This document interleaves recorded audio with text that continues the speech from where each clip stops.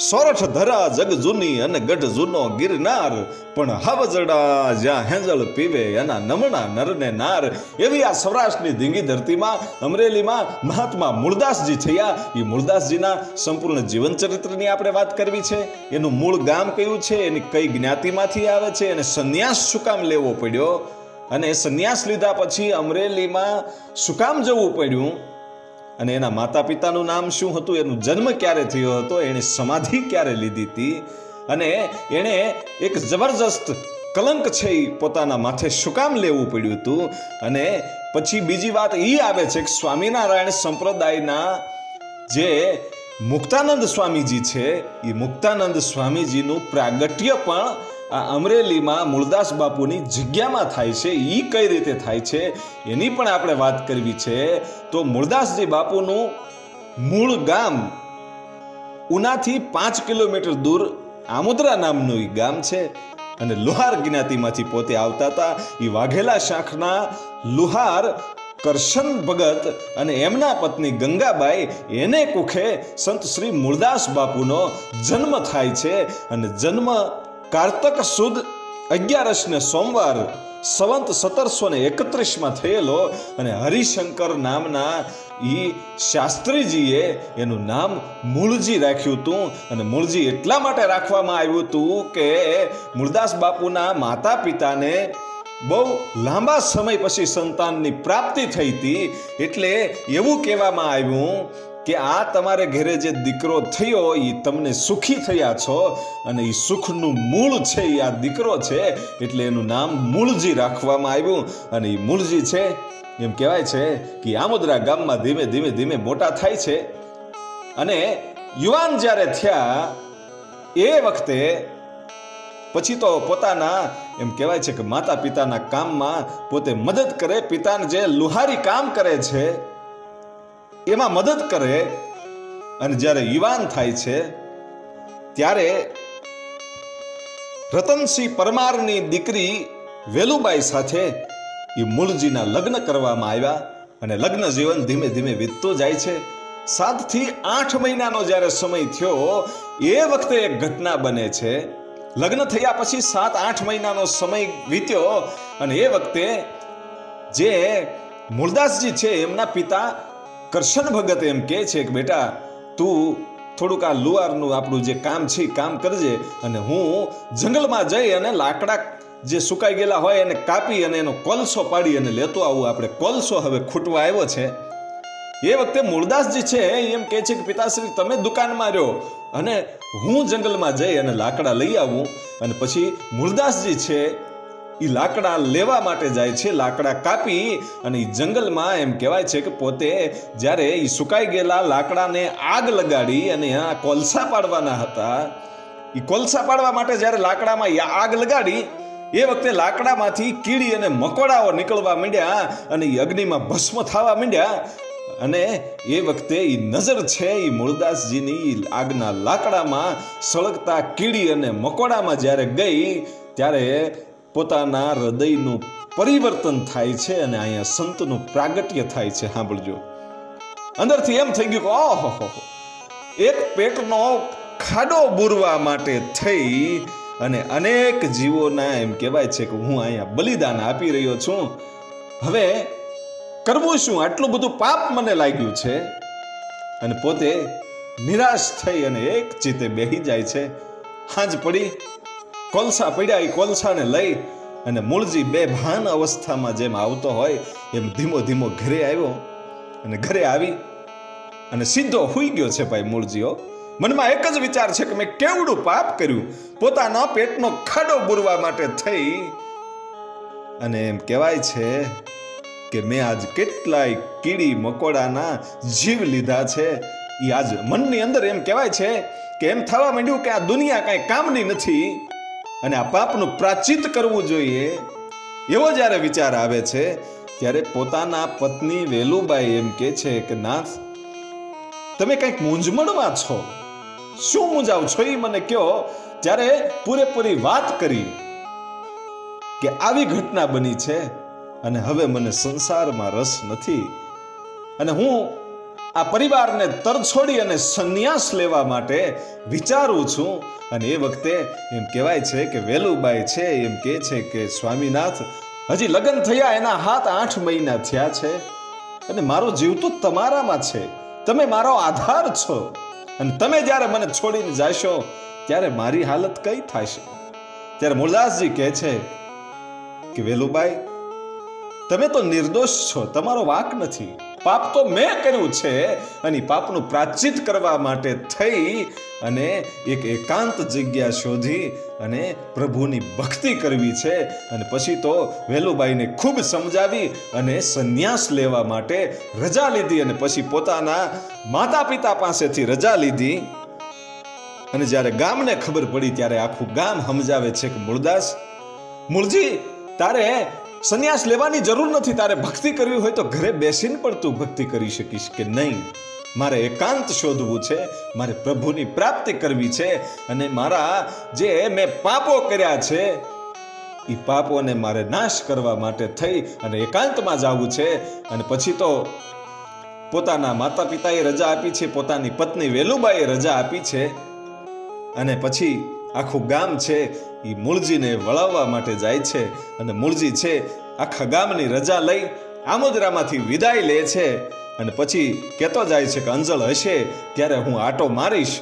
હું મારી જન્મભૂમિને ભૂલી નહીં શકું. પણ અંજળ આવશે ત્યારે હું આટો મારીશ. અને એમ કરતા કરતા ત્યાંથી ચાલતા ચાલતા ચાલતા મૂળજી છે એ પીપાવાવ આવે છે. ત્યાં ભક્ત પીપાજીની જગ્યામાં સંત શ્રી કૃષ્ણદાસજી છે, એની સાથે બે પાંચ દિવસ રહે છે અને ત્યાંથી પછી રજા લઈ કૃષ્ણદાસજીની રજા લઈ અને ચાલતા થયા અને ચાલતા ચાલતા ઝોલાપર આવે છે. એ ઝોલાપર ગામમાં આવી અને કહે છે કે, ભાઈ, મેં સંસારનો ત્યાગ કર્યો છે, પણ મારે બેઠા બેઠા નથી ખાવું. મારે તો મજૂરી કરીને ખાવું છે. અને એ વખતે કોઈ કીધું કે, મજૂરી કરીને ખાવું હોય તો આ ગામમાં તમને મજૂરી મળી રહેશે. પણ તમે ભગત માણસ છો, તમે સંસારને છોડ્યો છે, તો તમને એવા ભગત માણસની ઘરે અમે મોકલીએ એ તમને રાખશે. અને એ વખતે આહિર કુટુંબ હતું એક. વાઘ શાકનું, વાઘ એની શાખ હતી, અને એ આહિર કુટુંબ એનું નામ દેવાનંદભાઈ અને એમના પત્ની જશુબાઈ. એમને સંતાન નહોતું એટલે એમની ઘરે મૂળદાસજીને મોકલવામાં આવ્યા અને ઝોલાપરમાં એમ કહેવાય છે કે આનંદ આજ છવાઈ ગયો છે ભાઈ આ આહિર દંપતીની ઘરે ઓહો, આપણે એક તો સંતાન તો છે નહીં અને સંતાન રૂપે આ એક સંત આવ્યો છે.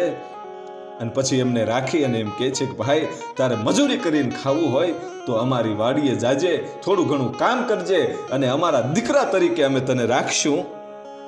અને પછી મૂળજી છે એ પ્રભુની ભક્તિ કરતો જાય અને આ આહિરની એમ કહેવાય છે કે વાડીએ જાય, ખેતરના કામ કરે અને હાજે આવી અને પછી તો બાપ અને દીકરાની જેવી જોડી જામી ગઈ અને માં દીકરા જેવી જોડી જામી ગઈ ભાઈઓ.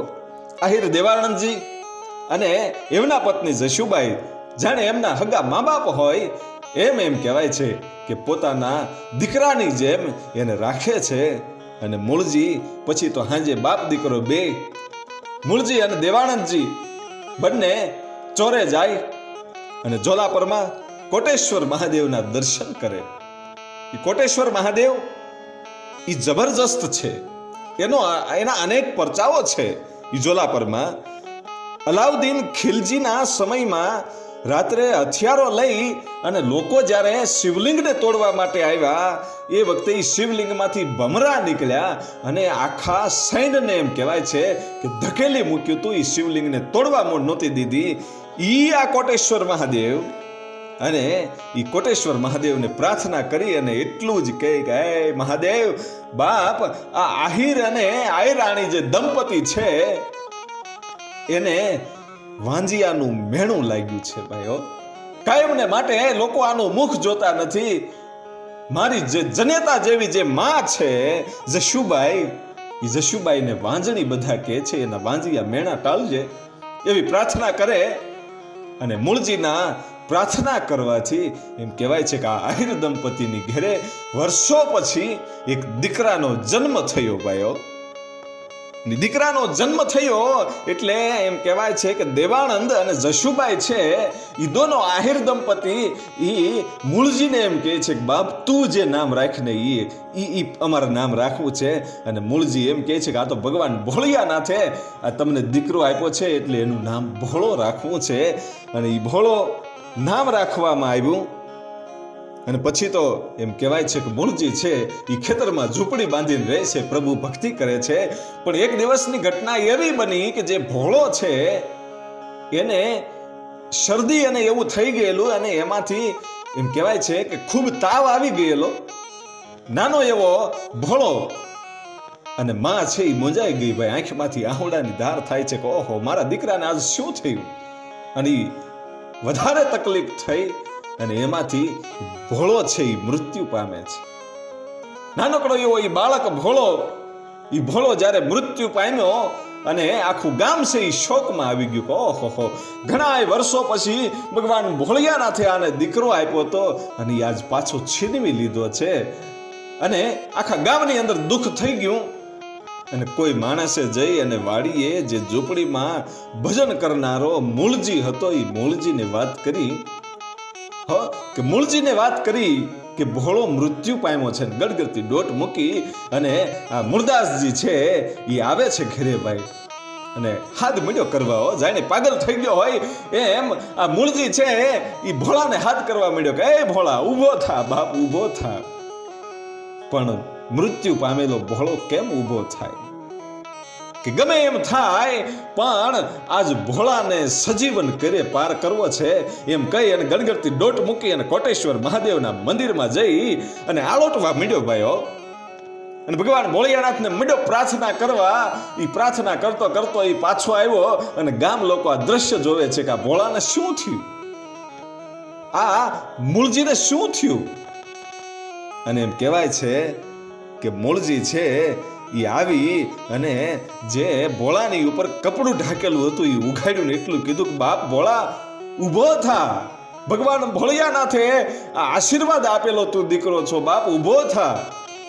એ વખતે ભોળો છે એ ઊભો થાય છે અને ભોળાને એ સજીવન કર્યો અને લોકો પામી ગયા કે આ મોળો જે મૂળજી છે એ કોઈ સામાન્ય વ્યક્તિ નથી, હો, એની ભક્તિમાં એટલી તાકાત છે. એમ કહેવાય છે કે ભોળાને મૂળજીએ સજીવન કર્યો ભાઈઓ. અને પછી તો મૂળજીની નામના આજુબાજુના ગામમાં વધવા માંડી. એવો ભગત અને પછી તો ધીમે ધીમે ધીમે સમય જતો જાય છે અને મૂળજી છે એ ખેતરમાં કામ કરે. અને એક વખત મજૂરો કરેલા ખેતી કામ કરવા માટે, વાવણી કરવા માટે અને એ મજૂરો જ્યારે આવ્યા અને પહેલી વાવણી થઈ, એટલે જશુમાએ ભાતમાં જમવા માટે લાડવા મોકલ્યા. અને એ લાડવા જ્યારે જમવા માટે લોકો બેઠા છે, મજૂરો બેઠા છે, ત્યારે આ મૂળજી એમ કહે છે કે હું બળદને થોડુંક પાણી પાઈ આવું અને એક બાજુ બાંધી અને પાછો આવું. તમે જમવાનું શરૂ કરો. અને મજૂરે જમવાનું શરૂ કર્યું અને આ મૂળજી છે એ મૂળદાસજી છે એમ કહેવાય છે કે બળદને પાવા માટે જાય છે અને અહીંયા એટલા બધા ચોખા ઘીના લાડુ હતા ને એટલા બધા સ્વાદિષ્ટ હતા, ત્યાં લોકોને ભાન ન રહ્યું અને મજૂરો બધાય લાડવા ખાઈ ગયા અને પછી યાદ આવ્યું કે મૂળજી તો હજી બાકી હતો.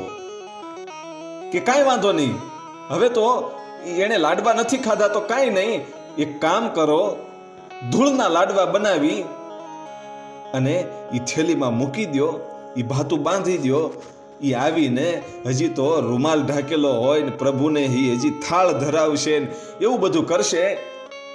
અને પછી લાડવા એને ખાવા હશે તો ખાશે, નકર કાંઈ નહીં. એ તો ભગતડો છે, એને ધૂળના લાડવામાં શું ખબર પડે?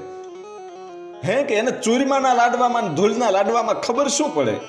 એને ખાવા હશે તો ખાશે અને ધૂળના લાડવા ખાશે નહીં ભાવે તો ફેંકી દેશે.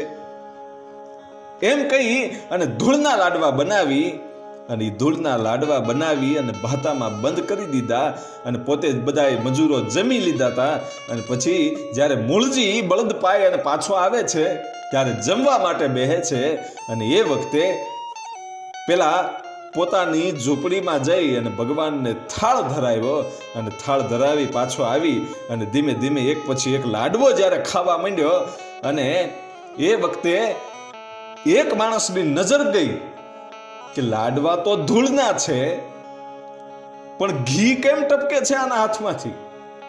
અને જ્યારે આવી અને જોયું, ત્યારે તો બહુ મસ્તીથી એ સ્વાદ માણી રહ્યો હતો ભાઈ મૂળજીઓ. એ ધૂળના લાડવાનો સ્વાદ માણી રહ્યો હતો, પણ પ્રભુએ એવું કામ મોલજીનું કર્યું કે ધૂળના લાડવાને બદલે ખાલી દેખાતા હતા ધૂળના લાડવા, પણ એ તો ભાઈ ચોખા ઘીના લાડવા ઈશ્વરે બનાવી દીધા હતા આજ. ઈ સોખા ઘીના લાડવા તો ઈશ્વરે બનાવી દીધા અને એ સ્વાદ માણી રહ્યો હતો. અને એ વખતે એ માણસ છે એ જોવે છે કે આ ધૂળનો લાડવો છે ને એમાંથી ઘી કેમ ટપકે છે? આપણે તો ખેતરને ધૂળના લાડવા બનાવ્યા હતા. અને એ એક લાડવાનું બટકું ભાંગી અને એ જે મજૂર છે એ પોતાના મોઢામાં જ્યારે નાખે છે, ત્યારે જે જશુમાએ લાડવા બનાવી અને મોકલ્યા હતા એ જ સ્વાદ આવ્યો. અને પછી તો ભાઈ, મજૂરો છે એ પગમાં પડી જાય છે કે અમને માફ કરો. અમારાથી ભૂલ થઈ, આ લાડવા અમે ધૂળના બનાવ્યા હતા અને ઈશ્વરે તમારો કેવું કામ કર્યું છે? કે આ લાડવા છે એ ચોખા ઘીના લાડવા જેવો સ્વાદ બની ગયો ધૂળના લાડવાનો. અને એ વખતે મૂળજીને ખબર પડી ગઈ કે આ મારી પરીક્ષા થઈ છે. પણ ઈશ્વરે આ લાડવા, ધૂળના લાડવા જમ્યા છે ઈશ્વર અને મને ઘીના લાડવા આપ્યા છે. પણ હવે અહીંયા મારી કસોટીઓ થવા માંડી છે. અને ઈશ્વરને તકલીફ આપવી પડે છે. એટલે હવે મારાથી અહીંયા રહેવાય નહીં.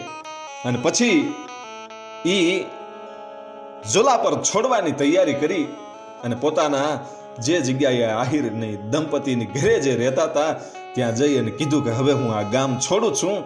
મારે ઈશ્વરને તકલીફ હવે નથી આપવી. અને એમ કરી અને જ્યારે ગામમાંથી નીકળવાની તૈયારી કરી, એ વખતે આખું ગામ ભેગું થઈ ગયું અને મૂળજીને કહે છે કે, મૂળજી બાપ, ભગતરાજ, તમે ન જાઓ, તમે રોકાઈ જાઓ કે નહીં? હવે મારે જવું પડશે. હવે મારે નીકળવું પડશે અહીંથી. હું તો સાધુનો છું. સાધુ તો ચલતા ભલા, સાધુને કોઈ જગ્યાએ ઠેકાણું ન હોય.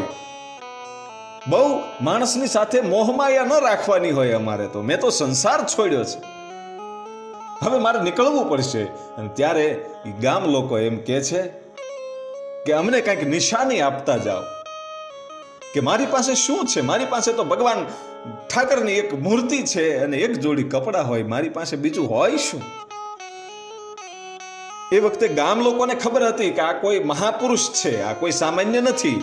એટલે લોકોએ એમ કીધું કે એકાદી યાદી આપતા જાઓ અને યાદીમાં એવું કંઈક કરો કે કાયમને માટે અમે તમને યાદ કરતા રહી કારણ કે તમે તો ગામ છોડો છો, પણ તમારી યાદી તો હોવી જોઈએ. અમે તમને ભૂલી નહીં શકીએ. પણ ગામને પાણીની બહુ તકલીફ છે, એટલે પાણીનું કંઈક કરતા જાઓ. એ પાણી અમે પીશું એટલે તમે યાદ આવશો, મૂળજી. પાણીનું કંઈક કરો. અને એ વખતે એ બાજુની જે નદી હતી નદીમાં ખોદવામાં આવ્યું અને ત્યાં મીઠું પાણી નીકળ્યું. આજે પણ એ મૂળિયા પાટ તરીકે ઓળખાય છે. અને એ પાટમાં પાણી આવ્યું અને ગામ લોકો ખૂબ આનંદિત થયા. અને મૂળદાસજીને એમ કહેવાય છે કે રજા આપી અને મૂળદાસજી ચાલતા થયા ભાઈ.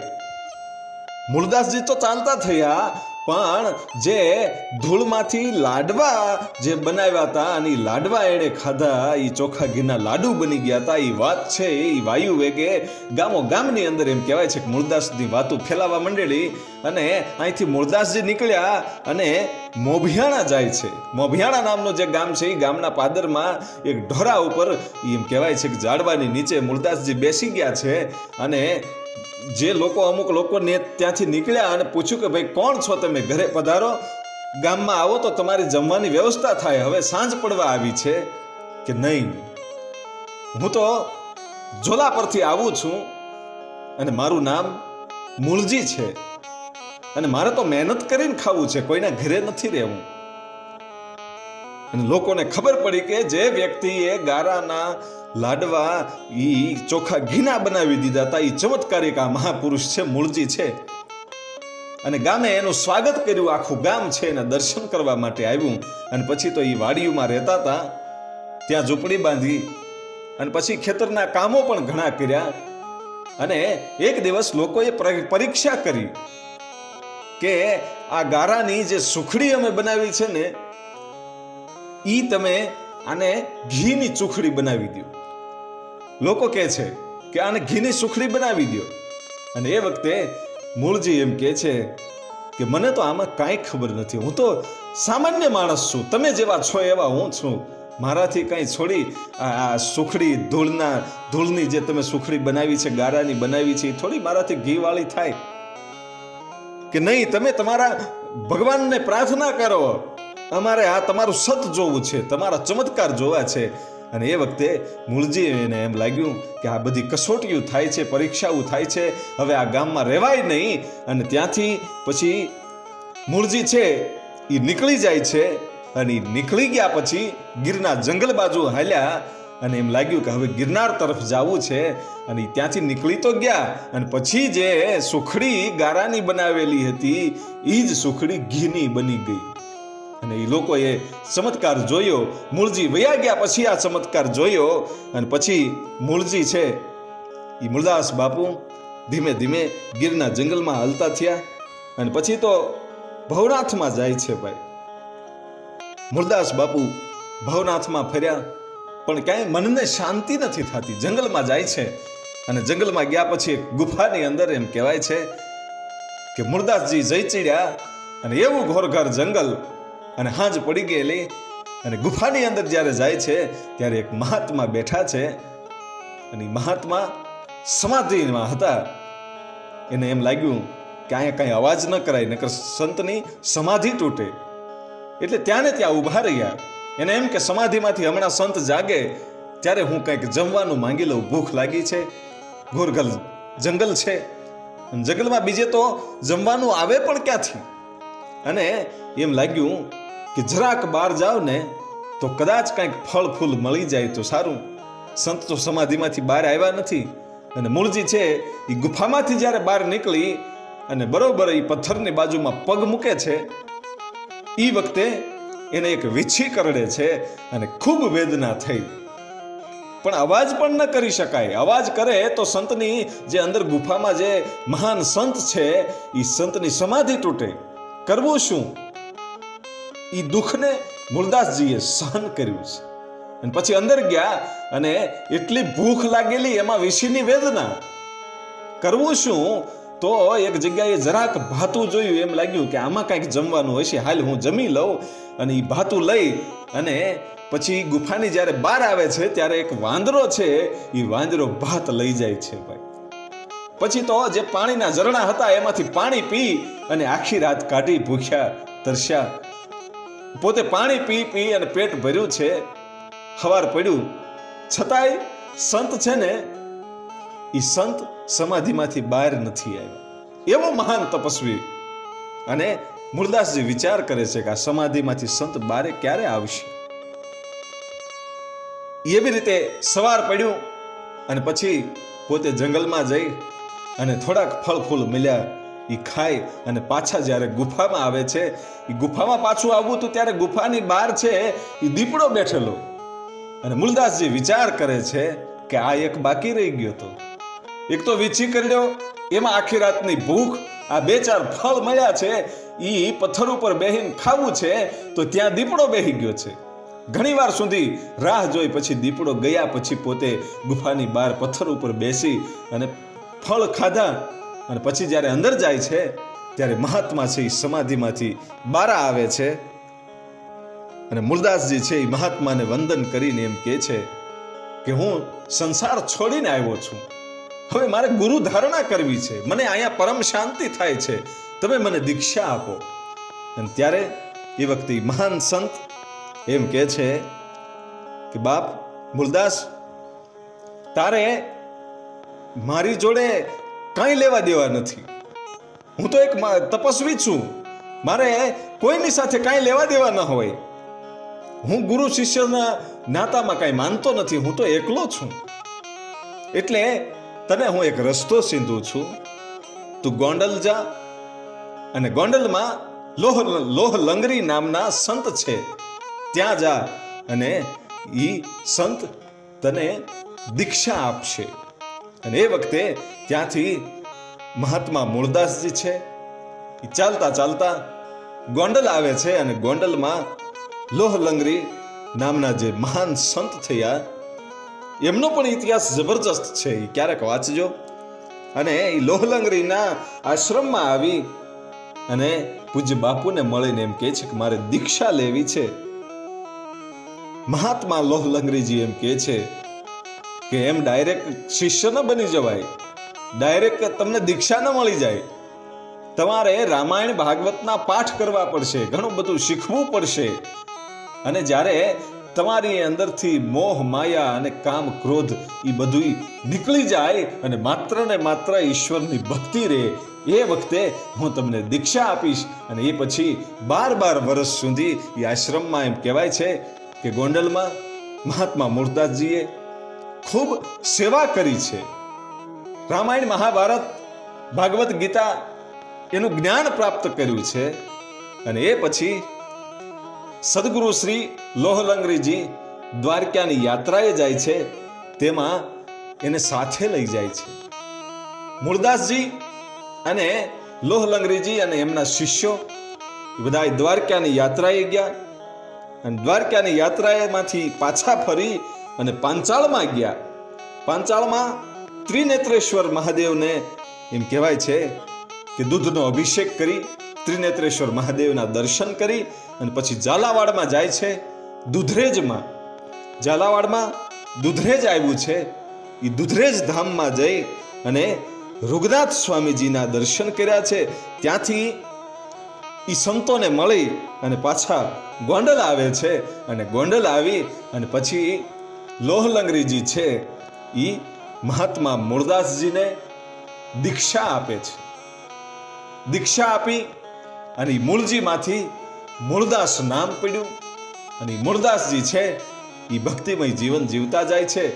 અને એ વખતે થોડોક સમય ગયો એટલે લોહલંગરીજીએ કીધું કે તમારે અહીંથી અમરેલી જવાનું છે. લોહલંગરીજીએ આજ્ઞા આપી, કીધું કે તમે હવે અહીંથી જઈ અને અમરેલીમાં આશ્રમ બાંધો ભૂખ્યા દુખ્યાને ટુકડો ખવડાવો અને ગરીબોની સેવા કરો. એવી જ્યારે વાત થઈ અને એ વખતે એક વાક્ય લોહલંગરીજી બોલે છે કે, બેટા મૂળદાસ તે એક મારાથી વાત છુપાવી છે, પણ આજે હું તને વાત કરું છું. અને એ વખતે મૂળદાસજીને વિચાર આવ્યો કે મેં ગુરુજીથી કઈ વાત છુપાવી છે? એ વખતે લોહલંગરીજી એમ કહે છે કે, બાપ મૂળદાસ તારા લગ્ન થયા હતા અને તું તારી પત્નીને છોડી અને આવ્યો છો. એ વાત તે મને નથી કરી. એટલે તું ગુનાને પાત્ર ગણા છો. એટલે અહીંથી તું અમરેલી જા અને એ પછી તારી એકવાર પરીક્ષા પણ થશે અને તારી ઉપર સ્ત્રીનું કલંક પણ સડશે એવી વાત થઈ.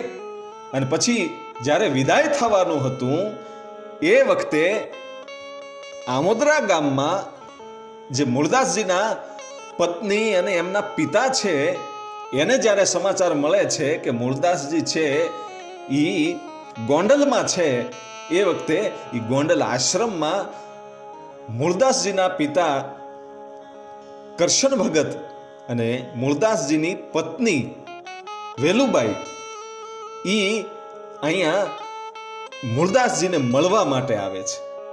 કે માત્ર મળવું જ છે એ તો સંત થઈ ગયા છે, એની સાથે હવે મોહમાયા ન હોય, પણ માત્ર મળવું છે એવો વિચાર કરી અને જ્યારે આવ્યા, પછી તો એમને સમાચાર કોઈ આપ્યા કે તમારા પિતાજી આવ્યા છે આમોદરાથી અને પછી ભેટે છે ભાઈ, પોતાના પિતાજીને ભેટે છે અને બાર વડલાની નીચે વેલુબાઈને બેહાડ્યા, કારણ કે આ તો ફકડ જગ્યા હતી. એટલે અંદર જવાય નહીં. સ્ત્રીઓને અંદર જવાય નહીં અને પોતે પોતાના ગુરુના દર્શન કરાવવા માટે લઈ જાય છે. અને ગુરુએ આશીર્વાદ આપ્યા અને મૂળદાસજીને એટલું કીધું કે તમે તમારી પત્નીને છોડી છે એટલે તમારો જીવ, એનો જે જીવ છે ને એ તમારામાં છે. અને તમારા માતા પિતા છે તમારા પત્નીને રાખી અને મોટા કરે છે, એમની સાથે રાખે છે. તો હવે તમારે તમારી પત્નીને અમરેલી સાથે લઈ જવા પડશે અને એની સાથે તમારે રહેવું પડશે. એ તો તમારામાં મગ્ન થઈ ગયેલા છે. તમે પ્રભુની ભક્તિ કરો છો અને તમારી પત્ની છે તમારી ભક્તિ કરે છે. એટલે વેલુબાઈને તમે સાથે લેતા જાજો. અને પછી તો વેલુબાઈને સાથે લઈ અને અમરેલીમાં મૂળદાસજીના પિતા કરશન ભગત અને મૂળદાસજીની પત્ની વેલુબાઈ અને મૂળદાસજી એ ત્રણે છે એ અમરેલીમાં આવે છે અને પોતાનું એક સગાવાલાનું જે ઘર હતું, કાનજી ભગત લોહાર, એમને ઘરે આવે છે. પણ અમરેલી આવતા પહેલા વચ્ચે એક રાત્રિ રોકાણ થયું છે. એ લુણીધારમાં એક રાત્રિ રોકાણ થયા પછી એ રાતે રોકાય અને બીજા દિવસે સવારે અમરેલીમાં પોતાના સગા જે હતા એ કાનજી ભગતને ઘેરે એમ કહેવાય છે કે આ ત્રણે આવે છે અને પછી તો કાનજી ભગત છે એ તો આ મૂળજીને ઓળખી પણ શક્યા નથી, કારણ કે આ તો સાધુ વેશમાં હતા. એટલે પૂછ્યું કે આ કોણ છે? અને એ વખતે કરશન ભગતે કીધું કે આ મારો દીકરો મૂળજી છે અને એણે સંન્યાસ લીધો છે અને બાર બાર વર્ષ થઈ ગયા છે. એટલે અમે અહીંયા આશ્રમની સ્થાપના કરવા માટે આ મૂળદાસજી અહીંયા આવ્યા છે. બધી વાત કરી. કે સંત લોહ લંગરીજી છે એ આના ગુરુ છે મૂળદાસજીના અને મૂળદાસજીને આજ્ઞા આપી છે કે ભૂખ્યા દુખ્યાને ટુકડો આપે. અને એ વખતે કાનજી ભગતે પોતાની નાત લુહાર જ્ઞાતિને ભેગી કરીને કીધું કે આપણો આ મહાન સંત છે, આપણા સમાજનો છે, તો આપણે એને મદદ કરીને એને એને આશ્રમ બનાવી દેવો જોઈએ. અને પછી આશ્રમની જગ્યા છે એ નક્કી થઈ અને આખો સમાજ છે એણે એમ કીધું કે, બાપુ, તમારે મૂંઝાવાની જરૂર નથી. જે કાંઈ ઘટે એ અમે આપશું અને જમીન પણ અમે આપશું. અને એ જમીન પસંદ કરવામાં આવી. અને એ જગ્યાએ આશ્રમની એમ કહેવાય છે કે, સ્થાપના કરવામાં આવી. અને પછી તો ભૂખ્યા દુખ્યાને ટુકડો મળે છે, ભાઈઓ. આ આશ્રમમાંથી એમ કહેવાય છે કે, અનેક ગરીબો જમે છે. એમ કરતા કરતા બાપુને એમ લાગ્યું કે, મારે અહીંયા થોડોક નાનકડો એવો બગીચો, થોડાક ઝાડવા, વૃક્ષો છોપવા છે. એટલે એક લીમડાની ડાળખી ભાંગી અને બાપુએ સોંપી દીધી. જે કડવો લીમડો હોય છે, એની એક ડાળખી ભાંગી અને એ ડાળખી જ્યારે રોપી, ત્યારે લોકોએ કીધું કે બાપુ, આ ડાળ ન ઉગે. કે નહીં વાલા, ઉગે. આપણામાં ભાવ પ્રેમ હોવો જોઈએ, તો ઉગે. એ જે વાત થઈ, અને પછી બે દિવસ ગયા અને એ લીમડામાંથી એમ કહેવાય છે કે જે લીમડાની ડાળખી જે રોપવામાં આવી હતી એ ડાળખીમાંથી એમ કહેવાય છે કે પાંદડા જ્યારે લીલાછમ થયા અને લીમડો ઉગ્યો ભાઈ. લીમડો ઉગી ગયો. અને લોકો છે વિચાર કરવા માંડ્યા કે આ મુરદાસજીની ભક્તિ કંઈક અલગ છે ભાઈ, આ તો મહાપુરુષ છે હો. બધાને વિશ્વાસ બેસવા માંડ્યો, કારણ કે કડવા લીમડાની ડાળખી રોપવાથી કોઈ દિવસ ઉગે નહીં, ડાળખી તો સુકાઈ જાય. પણ આજ એ ડાળખી ઉગી છે અને લોકોને એમ કહેવાય છે કે વાયુ વેગે આ વાતું છે. એ ફેલાવા માંડી અને એમાં ત્રણ યુવાનો છે એ આવી અને મૂળદાસજીના ચરણોમાં પડી જાય છે અને કીધું કે, બાપુ, મને દીક્ષા આપો. અમે ત્રણે ઘરેથી રજા લઈને આવ્યા છે, છીએ, એટલે અમને દીક્ષા આપો. એ ત્રણ યુવાનો હતા, શિલુ, હાથીઓ અને જાદવ. આ ત્રણે ત્રણ યુવાનો છે એમ કહેવાય છે કે એમ કહે છે કે અમને દીક્ષા આપો બાપુ. અમને તો હવે ભક્તિ લાગી છે. અને મુરદાસજીએ કીધું કે હું તો ગુરુને પાત્ર ક્યાં છું હજી? પણ આશ્રમમાં રહ્યો, સેવા ભક્તિ કરો, જ્ઞાન પ્રાપ્ત કરો, ભજનો ગાવ. જ્યારે મને યોગ્ય લાગશે ત્યારે હું તમને શિષ્ય બનાવીશ. અને પછી સમય જાતા પછી વિચાર આવ્યો કે હવે આ ત્રણે ત્રણને હું શિષ્ય બનાવી લઉં. અને પછી તો પોતાના ગુરુજીને સંદેશો મોકલવામાં આવ્યો લોહ લંગરીજીને ગોંડલમાં કે હું શિષ્ય બનાવું છું, શિષ્યોને દીક્ષા આપું છું, તો તમે પધારજો. અને સામો સંદેશામાં જવાબ આપ્યો કે હું નહીં આવી શકું, પણ મારા શિષ્યોને હું મોકલીશ. છોટે નાગાજી, રામદાસજી, સ્વરૂપજી તેને એમ કહેવાય છે કે મોકલે છે. અને આ ત્રણે ત્રણ યુવાનોને મૂલદાસજી છે એ પોતાના શિષ્ય બનાવે છે, દીક્ષા આપે છે. એ શિલુમાંથી શિલદાસ થયા, હાથિયામાંથી હાથીરામ થયા અને જાદવમાંથી જદુરામ થયા. એ શિષ્યો છે, પછી તો જગ્યામાં એમ કહેવાય છે કે આનંદથી રહે છે, સેવા પૂજા કરે છે, ટુકડો ત્યાં હરી ઢુકડો. એ એક નામ લઈ અને ગરીબોને જમાડે, ગરીબોને મદદ કરે. અને પછી તો ભાઈ અન્નની તો તાણ જ રહેવા નથી દીધી આ સમાજે. પોતાના સમાજના આ સંત છે એવું વિચારી અને લોહાર જ્ઞાતિ છે. એ કાયમને માટે એ બાપુની ઉપર ઓળઘોળ હતી અને એમ કહેવાય છે કે જેટલું અન્નની જરૂર પડે, જેટલી જરૂર પડે એ લુહાર જ્ઞાતિમાંથી આવતું હતું એવી રીતે ધીમે ધીમે આશ્રમ ચાલતો હતો અને પછી તો મૂળદાસજીની જે ભક્તિ છે, એની જે તાકાત છે એ તો કાયમને માટે દુનિયાની અંદર પ્રખાત થવા માંડી દુનિયામાં ડંકા વાગવા માંડ્યા મૂળદાસજીના ભાઈઓ. અને એમ કરતા કરતા પછી મૂળદાસજી છે પોતાના શિષ્યો સાથે દ્વારકાએ યાત્રાએ જાય છે. અને યાત્રામાંથી જ્યારે પાછા વળ્યા, ત્યારે જામનગરમાં પોતાના જે ભગત હતા એ આણંદજી ભગતની ઘરે પધરાવણી કરે છે બાપુ. અને પછી તો બધાય ભજન સત્સંગ કરે છે. અને બરોબર એમ કહેવાય છે કે જામનગરની અંદર રથયાત્રા નીકળે છે. રથયાત્રા કોની હતી? જામ સાહેબની હતી. જામનગરના રાજા એ જામ સાહેબની જન્મદિવસ હતો એટલે રથયાત્રા નીકળી હતી અને એટલા બધા ઘરેણાઓ પહેર્યા હતા અને એને પોતાના પાસે જે રૂપિયા હતા, જે ધન હતું, એનું એક અભિમાન હતું અને એ હાથીની અંબાડી ઉપર જામ સાહેબ છે એ આખા ગામમાં એમ કહેવાય છે કે નીકળ્યા છે. અને એ વખતે રથયાત્રા નીકળી અને જે જગ્યાએ આણંદજી ભગતનું જે ઘર હતું એ ડેલી એમ કહેવાય છે કે બધા લોકો છે મૂળદાસજી અને એના ભક્તો છે એ આવ્યા છે ભાઈ જોવા માટે હો. કે હાથીની અંબાડી ઉપર જામ સાહેબ છે એ ધીમે ધીમે હાલ્યા આવે છે અને બરાબર જામ સાહેબની હાથીની અંબાડી ત્યાંથી નીકળવી અને મૂળદાસજી છે ને, એણે એક ભજન ઉપાડ્યું. એ ભજન મૂળદાસજી બોલ્યા, અને એ ભજનના શબ્દો છે એ જામ સાહેબના કાને પડ્યા ભાઈઓ. એ ભજન કેવું હતું? શાને માટે ભક્ત ભજતો નથી. સાંભળજો આ શબ્દ કેવા જબરદસ્ત છે. શાને માટે ભજતો નથી સહેજય સીતારામ. હેતે કરીને હરીને ભજને, નિત લેને રામ નામ. અહીં તારો હુકમ ચાલે, કમાવે છે ગુલામ. બાજીગરનો બંદર બની ભરે ગાતું સલામ. એમાં તો ઘણું ખરું બાપુએ સમજાવી દીધું તું તું આ અભિમાન મેકી દે. તારી પાસે જે ધન છે એનું અભિમાન છોડી દે. એવું જ્યારે કહેવામાં આવ્યું, ત્યારે જામ સાહેબ છે એ હાથીમાંથી નીચે ઉતરી ગયા ભાઈ. અને લોકોને એમ લાગ્યું કે હમણાં મૂળદાસજી બાપુને પકડી અને એને સજા છપકારશે. પણ મૂળદાસ બાપુના પગમાં પડીને એટલું કીધું કે બાપુ, તમે મારું અભિમાન ઉતાર્યું, મારા રાજમાં પધારો. અને રાજમાં મુરદાસજી બાપુ જાય છે અને જાયમ સાહેબ છે. જામ સાહેબે એમ કહેવાય છે કે મુરદાસજી બાપુની કંઠી પહેરે છે અને ગુરુ ધારણ કરે છે.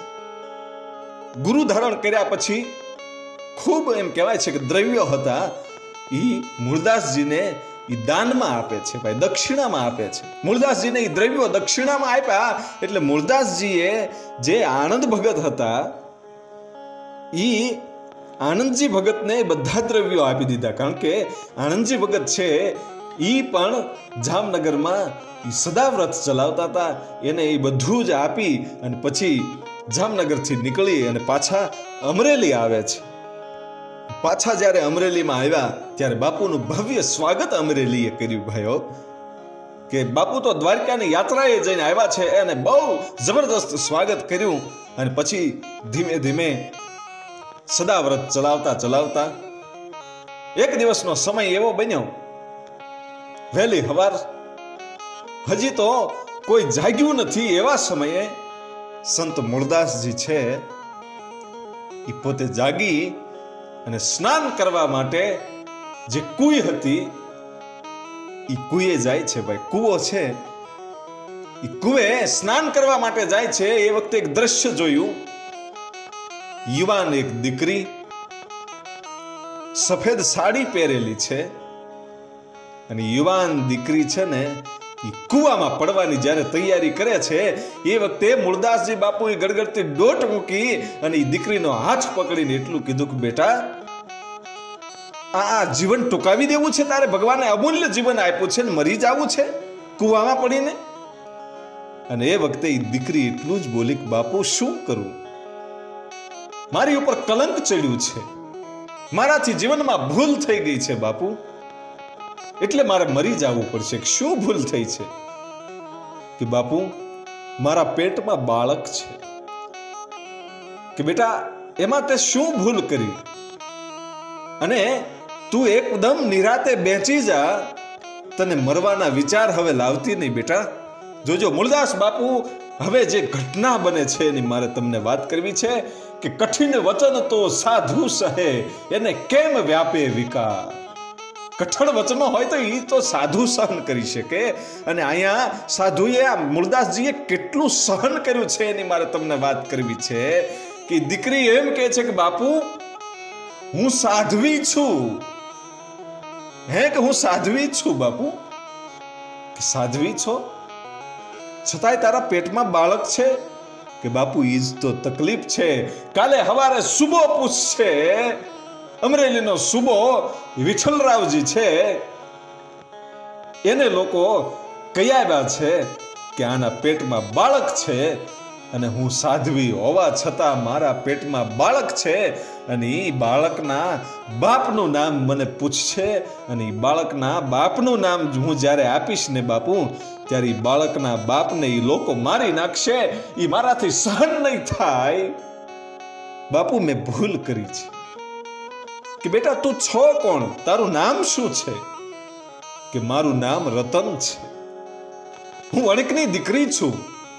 દીવની હું, મારું મૂળ જે પિયર છે એ દીવ છે. દીવની છો બેટા કે હા? કે મારા બાપે મને અહીંયા અમરેલીમાં પરણાવી છે. હે કે મને અમરેલીમાં પરણાવ્યા પછી ચારક મહિનાનો જ્યારે સમય ગયો, ત્યારે મારા પતિનું મૃત્યુ થયું બાપુ. એ વખતે મારું નામ રત્નમાલા હતું.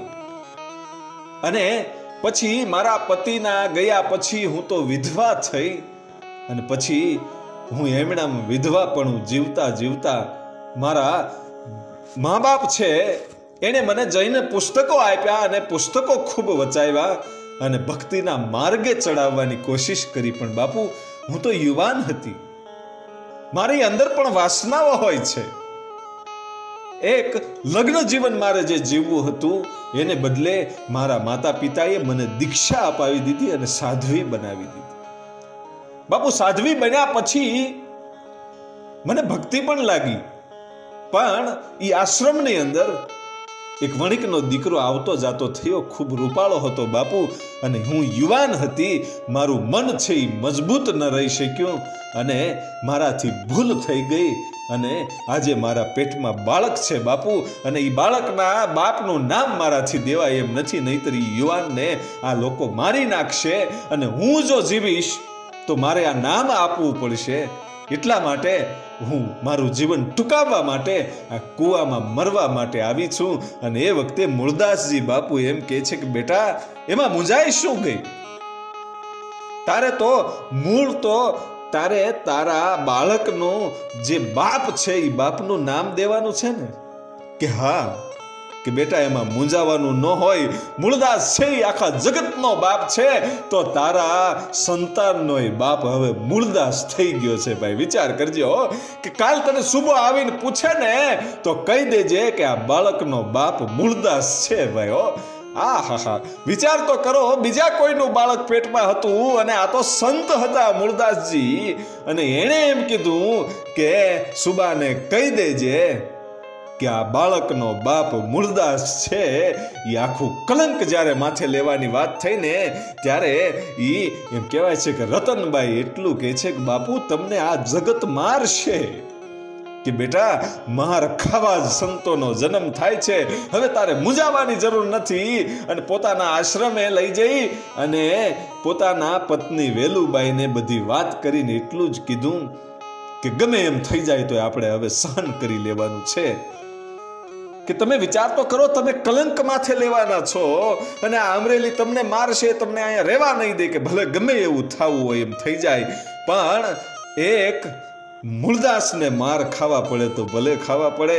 બાકી આ દીકરી અને એના બાળકને તો હું બચાવી જ લઈશ. એને નહીં મરવા દઉં. દીકરી અને બાળકને તો બચાવ્યા. હાજ પડી અને એમ કહેવાય છે કે લોકોને ખબર પડવા મળી, ભાઈ, આખો દિવસ જ્યારે રતનભાઈ છે એ મૂળદાસના આશ્રમમાં રહ્યા, ત્યારે લોકો એને શોધતા શોધતા ખબર પડી ગઈ કે જે રતનભાઈ છે એ મૂળદાસના આશ્રમમાં છે અને સુબો છે એ ત્યાં આવી અને પ્રશ્ન કરે છે જ્યારે. સાંભળજો સુબાએ વિઠ્ઠલરાવે પ્રશ્ન કર્યો કે, સાધ્વીજી તમે તો સાધ્વી છો, તમે ભક્તિના માર્ગે છો અને તમારા પેટમાં બાળક છે, એમાં તમારી ભૂલ ન હોઈ શકે. કોઈ સામેના વ્યક્તિએ કુકર્મ તમારી સાથે કર્યું હશે, એટલે હવે એનું નામ આપો, અમે એને ઘડીકમાં કાપી નાખશું. બસ તમે નામ આપો અને એ વખતે સાધ્વીજી એમ કહે છે કે જે થયું છે એ જવા દો હવે મારે તમને કોઈ જવાબ નથી આપવો. કે નહીં, તમારે જવાબ તો આપવો જ પડશે કે તમારા પેટમાં જે બાળક છે, એના બાપ કોણ છે? અને એ વખતે એમ કહેવાય છે કે એમ લાગ્યું કે હવે વાત તો કરવી જ પડશે, હવે નામ તો આપવું જ પડશે. ત્યારે ઈ રતનબાઈ છે એમ કે છે કે મારા પેટમાં બાળક છે ને, એનો બાપ સંત મૂળદાસ છે.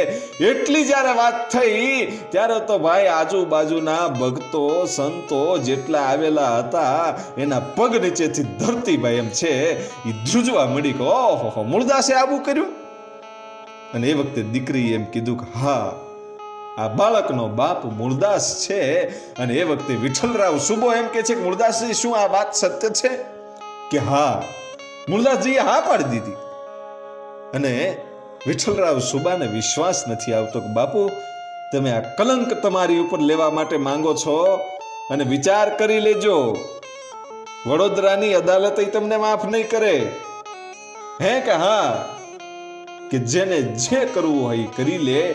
પણ આ બાળકનો બાપ હું છું, મૂળદાસ છું એટલે મૂળદાસ છું. હવે જે સજા ઠપકારી હોય એ ઠપકારી દો અને કોઈ લોકોએ કીધું કે હવે આ મૂળદાસને અહીંથી મારીને કાઢી મૂકો. કોઈ કે એને મારી નાખો. એવી જ્યારે વાતો કરવામાં આવી ત્યારે કોઈ કે એનું બહુ અપમાન કરી મૂકો, એને ગધેડે બેહાડી દો અને બધાએ મળી અને નક્કી કર્યું કે આને ગધેડા ઉપર ઊંધો બેહાડવો છે આ બાવાને ભાઈ. જોજો, એક દિવસ પહેલા તો મૂળદાસની નામના છે ગામો ગામમાં ડંકા વાગતા હતા અને મૂળદાસને જ્યારે સામે જોવે ત્યારે લોકો છે લાકડી પડે એમ એના ચરણોમાં પડી જતા હતા. એ લોકો આજ ગધેડા ઉપર બેહાડવાની વાત કરે છે. એક સમય એવો હતો કે જામનગરમાં જ્યારે યાત્રા કરી અને દ્વારકાથી મૂળદાસજી બાપુ આવ્યા અને જામ સાહેબને જ્યારે હાચી વસ્તુ સમજાવી, ત્યારે એ હાથીની અંબાડી ઉપર બેહાડીને લઈ ગયા હતા. અને આજ ગધેડા ઉપર બેહાડવાની આ અમરેલીમાં વાત આવી કે આ બાવાએ એમ કહેવાય છે કે બહુ ખોટું કર્યું છે, આવા ધંધા કર્યા છે. તો હવે આને આપણે મારવો જોઈએ અને આને ઊંધા ગધેડે બેહાડવો જોઈએ. અને એ વખતે એમ કહેવાય છે કે ઊંધા ગધેડે મૂળદાસજીને બેહાડ્યા અને ખૂબ માર્યા છે, અમરેલીની બહાર કાઢી મૂક્યા છે. એમના પત્ની વેલુબાઈ અને આ રતનબાઈ અને એમના શિષ્યો એ મૂળદાસજીની સાથે હાલ્યા જાય છે, ભાઈઓ. મૂળદાસજીની ઉપર પથ્થરમારો થાય છે. અમુક લોકો છે એ ગાળું પણ આપે છે. ઊંધા ગધેડા ઉપર બેઠા અને એ વખતે મુરદાસજીના પત્ની વેલુબાઈ મુરદાસજીને એટલું જ કહે છે કે તમને કાંઈ ફરક નથી પડતો. તમે કેવડા મહાન સંત છો અને આ કલંક તમારી ઉપર લીધું છે. છતાંય તમારી આ દ્રષ્ટિમાં ફેર નથી પડ્યો. અને એ વખતે મુરદાસજી એમ કહે છે કે આપણને ફેર ન પડે કારણ કે આપણે તો સાધુ કહેવાય. સાધુને ગધેડું હું કે હાથી હું? મને તો બધું એક સરખું જ લાગે છે. ઈ આ મુરદાસજીની સહનશીલતા હતી. કેટલું સહન કર્યું છે. અને મુરદાસજી એને એમના પત્ની, એમના શિષ્યો આ બધાય છે. એ એમ કહેવાય છે કે અમરેલીની બહાર જ્યારે નીકળી ગયા અને પછી અમરેલીની બહાર જઈ અને ત્યાં ઝૂંપડી બાંધી અને ત્યાં રહેતા હતા. ત્યાં જ્યારે રહેતા હતા, એ વખતે જે રતનબાઈ છે, એ રતનબાઈને દીકરીનો જન્મ થાય છે અને એ દીકરીનું નામ મહાત્મા મૂળદાસજી રાધા રાખે છે. અને પછી તો એ રાધાની સાથે મૂળદાસજી બાપુ રમતા હોય. એ દીકરી છે એ નાની એવી એ દાંત કાઢતી હોય અને મૂળદાસજી અને જે રતનબાઈ છે એ રાધાને રમાડે, વેલુબાઈ રાધાને રમાડે અને અમરેલીની બારી ઝૂંપડીમાં પછી તો વાતું થાય. એમાં અમુક માણસો છે, એણે વિચાર કર્યો કે આ રતનબાઈ અને મૂળદાસજી આ ઝૂંપડીમાં છે એ શું કરે છે એ વાતું આપણે સાંભળવી છે અને એ અમુક લોકો છે એ છાના છાના એ વાતો જ્યારે સાંભળતા હતા અને એ વખતે અંદર વાત થતી હતી અને જે રતનબાઈ છે એમ કે છે કે, બાપુ, તમે તમારી ઉપર કલંક લઈ લીધું? બાપુ, તમે મહાન છો. અને એ વખતે મુરદાસ બાપુ એટલું કહે છે કે, બેટા, મહાન તો પરમાત્મા છે. આ કલંક મારે લેવું પડ્યું. અને લોકો જે મને ભલે માર્યો હોય, ભલે મને કાઢી મૂક્યો હોય, મને કાંઈ ફરક નથી પડતો. તું તો મારી દીકરી છો બેટા. એવી જ્યારે વાતો થતી હતી, એ વખતે લોકોને ખબર પડી કે આ તો બાપ દીકરી જેવા સંબંધ છે અને ઈ જે દીકરીના પેટમાં જે બાળક હતું એ બીજા કોઈનું હતું. અને મૂળદાસજીએ એની ઉપર કલંક લઈ લીધું હતું એટલા માટે ગામમાં જઈ અને લોકોને વાત કરી કે મૂળદાસજીને લઈ આવો, નહીતર આપણા અમરેલીનું ધનોત પનોત નીકળી જાય છે. એ તો મહાન સંત છે. એને બાપ અને દીકરીના સંબંધો છે. એ બધી વાતો કરી ત્યારે લોકોએ આવી અને વાજતે ગાજતે પછી અમરેલીમાં પોતાના આશ્રમમાં પાછા એમ કહેવાય છે કે લઈ જાય છે. એ પાછા લઈ જાય છે અને પછી તો અમરેલી પાછું પગે પડેલું. અને આ બાજુ જામ સાહેબ જે છે જામ સાહેબ, એણે એમ કહેવાય છે કે પોતાના જે ગુરુ છે જેણે કંઠી બાંધી હતી એને કંઠી તોડી નાખી. જ્યારે ખબર પડી કે મૂળદાસજીએ આવું કલંક લીધું છે અને ખબર નહોતી કે હકીકત શું છે. કે આ સંતો આવો છે, આની કંઠી ન બંધાય, આને ગુરુ ન રખાય. પછી તો એની કંઠી તોડી નાખી.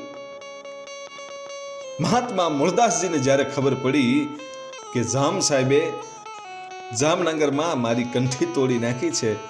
એટલે પોતે જામનગરમાં જાય છે અને જામનગરના રાજદરબારમાં જઈ અને ઊભા રહ્યા છે ભાઈઓ.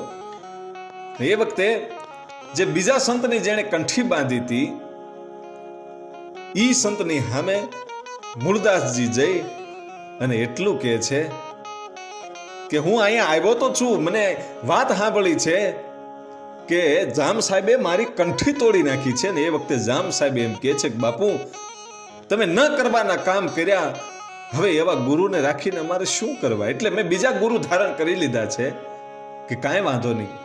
પણ તમારા ગુરુમાં તાકાત છે કે નહીં, એ જોયું કે નહીં? કે શું? અને મુરદાસજી છે એ ઊભા થઈ અને બહાર જઈ અને પાછા આવે છે ત્યારે હાથમાં એક બિલાડી હોય છે. એ બિલાડી મૃત્યુ પામેલી હોય છે અને એના નાના નાના જે બચ્ચાઓ છે એ દૂધ માટે ટળવળતા હોય છે અને એ બિલાડીને એ રાજદરબારની વચ્ચે મૂકી અને મહારાજાને એમ કહે છે કે, જામ સાહેબ, તમારા ગુરુમાં તાકાત હોય તો કયો કે આ બિલાડીને સજીવન કરે. કારણ કે એમના જે બચોલિયા છે ને, એના બચ્ચાઓ છે એ હમણાં ભૂખ્યા મરી જશે. માટે આ બિલાડીને સજીવન કરો. અને એ વખતે જે બીજા સંત છે એ એમ કે છે કે એ મરી ગયેલું બિલાડું કાંઈ સજીવન થોડું થતું હશે? કે તમારામાં ભક્તિ હોય તો સજીવન થાય.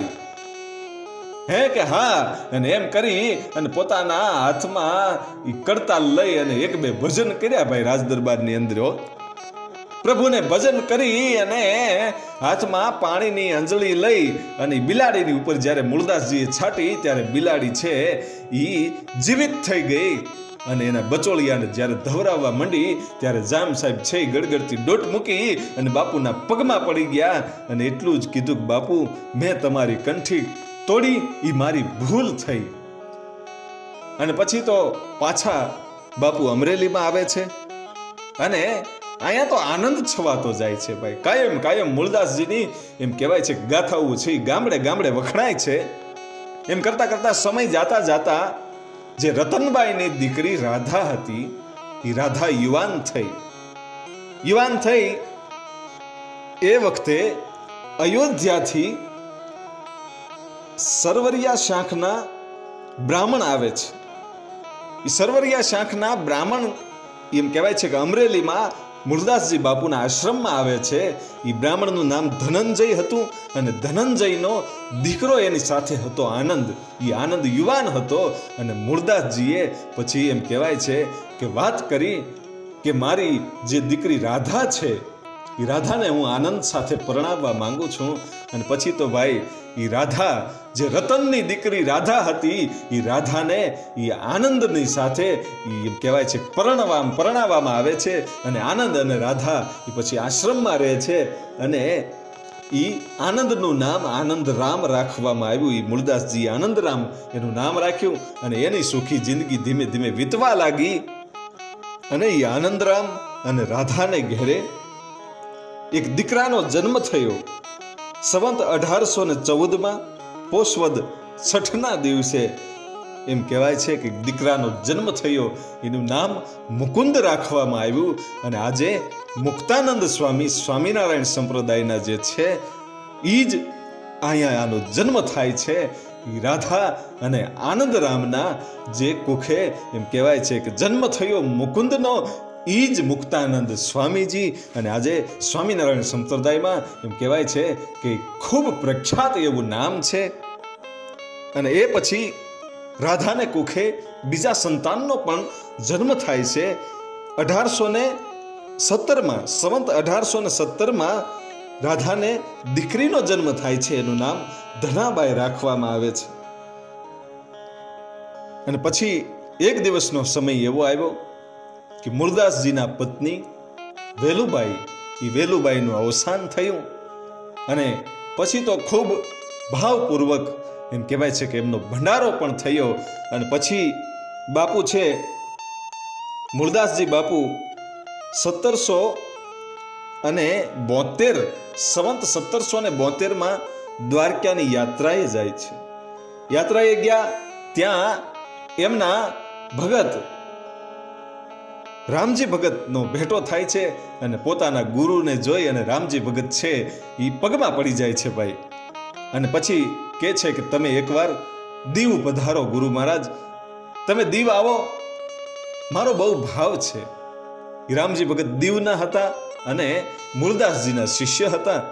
અને મૂળદાસજીએ કીધું કે ચાલો હું તમારી સાથે દીવમાં આવું. પણ તમે જાઓ. હું યાત્રા પૂરી કરી અને મારા આશ્રમે જઈ અને પછી દીવમાં આવીશ.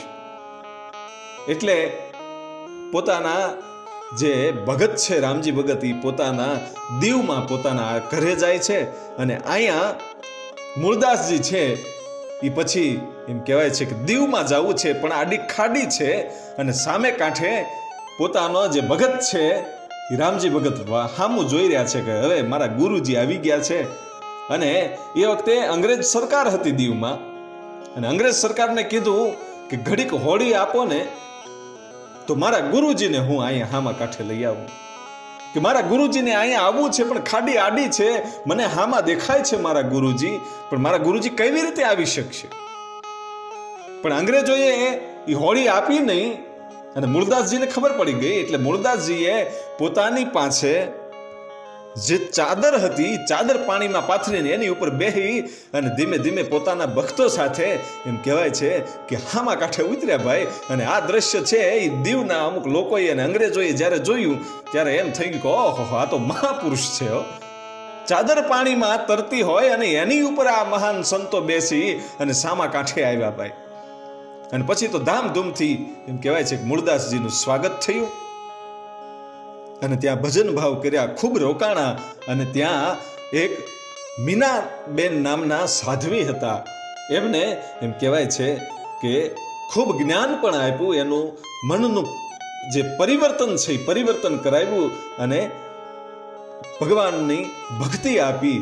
અને એ વખતે જ્યારે આમોદરા જે મૂળદાસ બાપુની જન્મભૂમિ છે એ ગામમાં ખબર પડી કે મૂળદાસ બાપુ દીવમાં આવ્યા છે, ત્યારે એમના જે ભક્તો છે, ધરમસિંહ ભગત અને બીજા ભક્તો છે, એ બધા આમોદરાથી દીવમાં આવે છે અને લક્ષ્મીનારાયણના મંદિરે જઈ અને ભગવાનને પ્રાર્થના કરી, ભજન કરી અને પછી પૂજારીને પૂછ્યું કે મૂળદાસજી અહીં આવ્યા છે અને બતાવ્યું કે અંગ્રેજોએ એને એક ઓરડો સોંપ્યો છે બાપુને ઓરડો રહેવા માટે આપ્યો છે ને બાપુ છે ત્યાં ભજન કરતા હશે. અને મૂળદાસ બાપુને બધા મળે છે આમોદરા ગામના ભક્તો. અને પછી કીધું કે અમે તમને તેડવા માટે આવ્યા છીએ. અહીંથી બહુ જાજુ દૂર નથી આમોદરા. અને તમે જન્મભૂમિમાં પધારો. અને મૂળદાસજી બાપુ છે એ પછી પોતાના જન્મભૂમિમાં આમોદરા ગામે પણ આવે છે. બે ત્રણ દિવસ રોકાય અને પાછા બાપુ અમરેલીમાં આવે છે. અને એ પછી એક વખત સમય જાતા જાતા સમય ગયો અને પોતાના ગુરુ જે લોહલંગરીજી છે એ લોક લોહલંગરીજી મહાત્મા છે એ મૂળદાસજીના આશ્રમમાં અમરેલી આવે છે. અને ગુરુજીને આવતાની સાથે ગડગતી દોટ મૂકી અને મૂળદાસ બાપુ છે એ લોહલંગરીજીના ચરણોમાં પડી ગયા. અને પછી કીધું, લોહલંગરીજી કહે છે કે મૂળદાસ તું સંસારમાં તો બહુ જીવ નથી લાગતો ને? આટલા બધા અન્નના કોઠારો ભર્યા છે, એટલું બધું અન્ન આવે છે ક્યાંથી? તને મોહમાયા લાગી લાગે છે? કે નહીં બાપુ, મને મોહમાયા નહીં લાગી, નથી લાગી હો. હું તો જેવો તમારો શિષ્ય હતો અને બાર બાર વર્ષ જે ત્યાં રહ્યો છું, એવો જ છું. એમાં મને કાંઈ ફરક નથી પડ્યો. મને કોઈ મોહમાયા નથી લાગી બાપુ. કે હું કેવી રીતે માની લઉં? તારે પ્રમાણ આપવું પડશે. અને એ વખતે મુરદાસ બાપુ છે, હાથમાં પાણીની અંજલી લઈ અને એમ કહે છે કે, બાપુ સામે જે પીપળાનું ઝાડ હુકાઈ ગયેલું છે ને, એની ઉપર હું આ પાણીની અંજલિ નાખું છું અને જો મારામાં કાંઈ ફરક નહીં પડ્યો હોય અને તમારી ભક્તિ એવી ને એવી હશે, મને કોઈ મોહમાયા નહીં હોય, તો એ પીપળામાં પાંદડા આવશે અને એ પીપળો જળ છે ચેતન થશે એમ કરી અને પાણીની અંજલિ નાખી અને પછી બીજી અંજલી ભરી અને કીધું કે, બાપુ, આ જે કડવો લીમડો છે, એની ડાળ ઉપર હું પાણી નાખું છું અને મારામાં મોહમાયા ન હોય અને માત્ર ને માત્ર પ્રભુ ભક્તિ અને ગુરુની ભક્તિ હોય અને જે તમારા આશ્રમમાં રહી અને જે હું હતો, એવો જ મારો અત્યારે હું હોઉં, તો આ લીમડાની ડાળ છે એ મીઠી થઈ જાય એમ કરી અને પાણીની અંજળી લીમડાની ડાળ ઉપર છાંટવામાં આવી.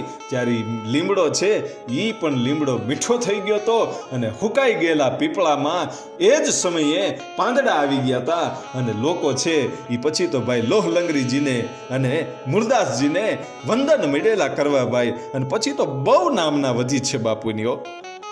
પછી તો સમય જાતા જાતા એકસો ને ચાર વર્ષની ઉંમર થાય છે બાપુની.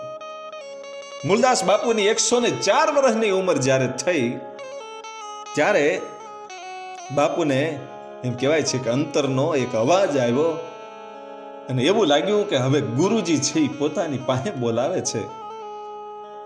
કારણ કે લોહલંગરીજી બાપુએ સમાધિસ્થ થયા હતા, એને સમાધિ લીધી હતી. એ વખતે એમ કહેવાય છે કે અંદરનો એક અવાજ આવ્યો કે ઘણું જીવી લીધા, ઘણી સેવા કરી લીધી. હવે કાર્યકાળ પૂરું થયું છે. હવે આ દેહનો ત્યાગ કરવો જોઈએ એવું વિચારી અને પછી બાપુ મૂળદાસ બાપુ છે એ પોતાની સમાધિ લેવાનું એલાન કરે છે કે ચૈત્ર સુદ આઠમના દિવસે મારે સમાધિ લેવાની છે. એટલે પોતાના જે શિષ્યો હતા એમને બોલાવી અને કીધું કે તમે બધા જ સંતોને આમંત્રણ આપી દો અને શિલદાસજી છે એ પહેલા શિષ્ય હતા બાપુના. એટલે શિલદાસજી એને બીજા કંઈક કામે બાપુએ મોકલેલા એટલે એ હાજરમાં હતા નહીં, એટલે બીજા શિષ્યોને કીધું કે તમે જે જે જગ્યાએ આપણે જ્યાં સંબંધો છે, જેની સાથે આપણે નાતો છે એ બધા જ સંતોને આમંત્રણ આપો. અને બાપુએ અનેક જગ્યાઓના નામ પણ આપ્યા. કે ગોંડલ આશ્રમે જાઓ અને ગોંડલ એટલા માટે કે ત્યાંના જે મારા ગુરુભાઈઓ છે એ મારા ગુરુએ તો સમાધિષ્ઠ થયા છે. પણ એ આશ્રમમાં જઈ અને બધાને આમંત્રણ આપો, કારણ કે એ તો મારા ગુરુનો આશ્રમ છે, ત્યાં હું બાર બાર વર્ષ રહ્યો છું. અને સેલ ખંભાળિયા જાઓ, ત્યાં મારા ગુરુભાઈ નથુરામ છે. ધોલેરા બંદર જાઓ, ત્યાં મારા ગુરુભાવ ગુરુભાઈ, ભાવ સ્વામી છે. એમને પણ આમંત્રણ આપો. ભિયાણ જાઓ. ત્યાં અટલ સ્વામી. એમને પણ એમ કહેવાય છે કે આમંત્રણ આપો. અને દુધરેજ, જે પાંચાળમાં દુધરેજ આવ્યું છે, એ દુધરેજમાં જઈ અને ષષ્ઠ પ્રજ્ઞ સ્વામીજીને આમંત્રણ આપો. અને પછી જેટલા જેટલા મહાપુરુષો છે, એને બધાએ સંતોને આમંત્રણ આપી અને બોલાવો અને કહો કે ચૈત્ર સુદ આઠમના દિવસે મૂળદાસજી સમાધિ લેવાના છે, તો આપ સૌ પધારો અને બધાય સંતોને એમ કહેવાય છે કે આમંત્રણ આપવાનું નક્કી કર્યું અને મૂળદાસજીએ કીધું કે નદીના કિનારે સમાધિ ગાળો. અને એ સમાધિ જ્યારે તમે મને લઈ જાઓ પાલખીમાં, એ વખતે અબિલ અને ગુલાલ ઉડાડજો. અને હું જ્યારે સમાધિમાં બેસું ત્યારે મારા હાથમાં શ્રીફળ આપજો. જમણી બાજુ અગરબત્તી કરજો. અને ગિરજાશંકર શાસ્ત્રી પાસે બધી વિધિ કરાવી અને ગાયત્રી મંત્રના ઉચ્ચારો કરજો. એવું બધી વાતો કરી અને આશ્રમને કેવી રીતે ચલાવવો, શું કરવું એ બધી એમ કહેવાય છે કે જ્ઞાનની વાતો બાપુએ કરી. અને એમ કરતા કરતા આઠમનો સમય આવી ગયો.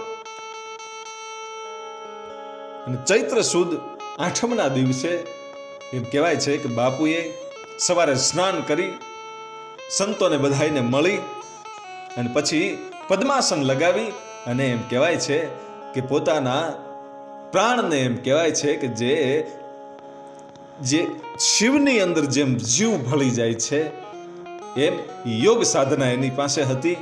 યોગ સાધનાથી પોતાના દેહને વિલીન કરી અને પોતે બાપુ સમાધિષ્ઠ થયા અને પછી પાલખીમાં બેહાડવામાં બાપુને આવ્યા અને પાલખી છે એ નદીના કિનારે લઈ જવા માટે એ અમરેલીમાંથી નીકળી અને એ વખતે એક પટેલની દીકરીને આણું વાળી અને પોતાના સાસરિયામાં જ્યારે જાતી હતી ત્યારે એ સગાવાલાઓ છે એને તેડવા માટે આવેલા.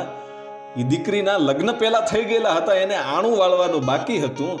અને એ જ વખતે આઠમના દિવસે એમ કહેવાય છે કે પટેલની દીકરી અને એ દીકરીને આણું વાળીને લઈ જતા હતા અને આ લોકો છે એ પાલખી જોઈ ગયા કે ઓહો આ સોરસના સંત. એ સંતની પાલખી છે. અને પાલખીની સામે હલાય નહીં. હવે પાછા વળી જાઓ.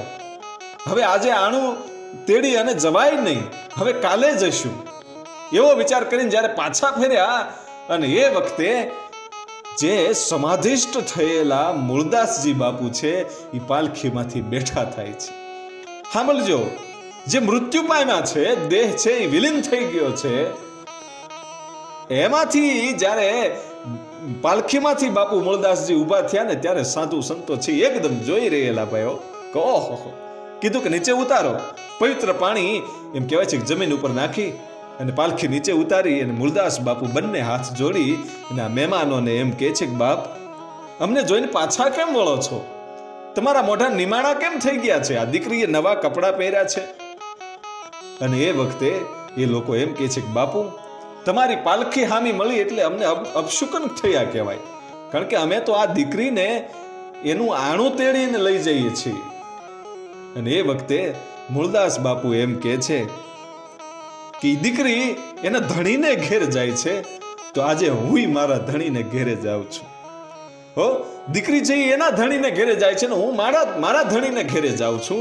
વાત તો એક સરખી છે, એમાં કાંઈ અપશુકન હોય નહીં, પણ છતાં તમને એવું કાંઈ લાગતું હોય, તો તમે આણું તેડીને ઘેરે જાઓ હું છે કાલ સમાધિ લઈશ. જોજો, ચોવીસ કલાક સુધી કાલને પણ થપાટ મારી શકે. મૃત્યુ પામેલો દેહ હોય, એમાં પાછો જીવ આવી જાય એવો મહાન સંત મરદા પણ બેઠા કરી શકે. ઈ સંતની એમ કહેવાય છે કે ગાથાઓ છે એ ગામો ગામ ગવાય છે અને એના જ ઇતિહાસો છે લોકોએ સ્વીકાર્યા છે. એટલે એની અંદર ભક્તિ એવી હતી, એટલે વિલીન થઈ ગયેલો દેહ પાછો ઊભો થયો અને મુરદાસ બાપુએ કીધું કે હવે હું કાલે સમાધિ લઈશ. એટલે પછી તો એ પાલખી છે એ વાજતે ગાજતે પાછી આશ્રમમાં આવે છે અને બીજા દિવસે સવારે ચૈત્ર સુદ નવ નવ એટલે રામનવમી અને રામનવમીના દિવસે મૂળદાસ બાપુએ કીધું કે જે સમાધિ તમે નદીના કિનારે ગાળી છે એ સમાધિની અંદર શ્રીફળ નાખી અને ઉપર માટી વાળી દો એ સમાધિ બુરી અને પાછા આવો. અને હવે મારે અહીંયા આશ્રમમાં જ સમાધિ લેવી છે. કારણ કે કોઈને અપશુકન થાય એના કરતાં આપણે સમાધિ અહીંયા જ લેવી છે. અને પછી આશ્રમમાં સમાધિ ગાળવામાં આવી, ગાયના છાણનું લીપણ કરવામાં આવ્યું. કંકુ ચોખાનો એમ કહેવાય છે કે સાથીઓ પૂરી, અગરબત્તી કરી અને પૂજ્ય મૂળદાસ બાપુ છે એ સમાધિમાં બેસી જાય છે. સમાધિમાં બેસી ગયા, સમાધિ આપવામાં આવી સમાધિ તો અપાઈ ગઈ અને પછી તો કાયમને માટે ત્યાં ભજનો પણ થવામાં આવ્યા. ખૂબ કાયમ ભજન થતા હતા અને થોડોક સમય ગયા પછી સમય એવો આવ્યો કે મૂળદાસજીના જે શિષ્ય હતા, શીલદાસજી એ શીલદાસજી બહાર ગયેલા હતા અને એ જ્યારે પાછા આવ્યા ત્યારે એને ખબર પડી કે મારા ગુરુએ તો સમાધિ એમ કહેવાય છે કે લઈ લીધી છે. અને પછી તો ભાઈ સમાધિની સામે સમાધિની માથે પડી અને રડવા લાગ્યો અને એ વખતે એમ કહેવાય છે કે મૂળદાસજી બાપુનો અંદરથી અવાજ આવે છે સમાધિમાંથી સાંભળજો મૂળદાસ બાપુનો સમાધિમાંથી અવાજ આવ્યો અને કીધું કે તારે મારા દર્શન કરવા હોય તો દામોદર કુંડે આવી જા. અને પછી ત્યાંથી ભાઈ શિલદાસજી છે એ ગડગડતી ડોટ મૂકી અને જુનાગઢ જઈ અને દામોદર કુંડે જઈ અને પોતાના ગુરુની નામની માળા મંડેડો કરવા. અને ગુરુના નામની માળા કરતો તો એ વખતે કોઈ સાધુએ આવી અને એટલું કીધું કે ભાઈ, કોણ છો? અને ક્યાંથી આવો છો? કે મારું નામ શિલદાસ છે? અને હું અમરેલીથી આવું છું. કે અમરેલીથી આવો છો? કે હા, કે અમરેલીના મહાન સંત મૂળદાસજી અહીંયા આવ્યા છે. હે કે હા? કે ક્યાં છે? એનો તો હું શિષ્ય છું, એ મારા ગુરુ છે, મારે એના દર્શન કરવા છે. મને જલ્દી બતાવો. અને એ વખતે ડુંગરાવની કંદરાવમાં એક ગુફા સિંધાડી અને એટલું કીધું કે આ ગુફાની અંદર મૂળદાસજી છે. અને જ્યારે શિલદાસજી ત્યાં જાય છે, ત્યારે એવો મહાન ભયંકર તેજ આવ્યું અને તેજ જ્યારે વિલીન થયું, એ વખતે તેજ ઝાંખું પડ્યું અને એમાં સંત શ્રી મૂળદાસજી બાપુના શિલદાસજીને દર્શન થયા અને ગુરુને એમ કહેવાય છે કે પગે લાગી અને ત્યાંથી મુરદાસજી બાપુ એને આજ્ઞા આપે છે અને કહે છે કે જાઓ, હવે આશ્રમને સંભાળો અને ટુકડો ત્યાં હરી ઢુકડો.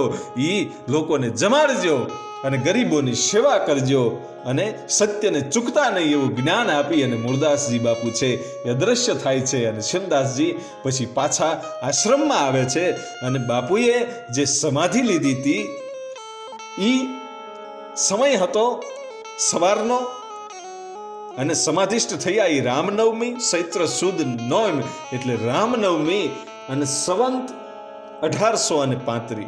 એટલે એકસો ને ચાર વર્ષ સુધી બાપુ જીવા છે અને પછી પોતે એમ કહેવાય છે કે સમાધિષ્ઠ થયા છે. આવા મહાન સંત મહાત્મા મૂળદાસજી